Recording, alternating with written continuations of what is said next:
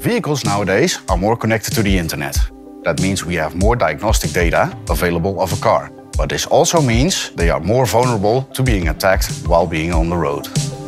To face these challenges, the UN ECE has provided a new set of regulations that go in effect by 2023. This applies for all moving vehicles. As a responsible company, needs to comply with the regulations of the UN ECE. This will ensure the safety for its vehicle and its driver and is being protected against outside threats.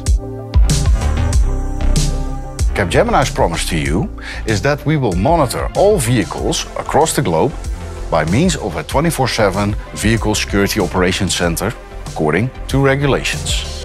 With our team of experts, we keep track of all changes in the regulations to ensure that our solution is always up to date.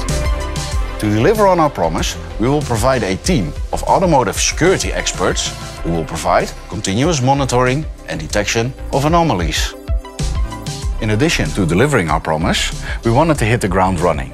And in this case, we built our own version of a mock-up vehicle. This way, we can demonstrate our capabilities we see a combination of diverse hardware, consists out of Raspberry Pis, Arduinos and multiple car elements. These are all connected via the Raspberry Pi, which has an interlink connection to our Sentinel SOC, which is based in the cloud, in which we can access the data on this board across the globe. What did we learn during our adventure?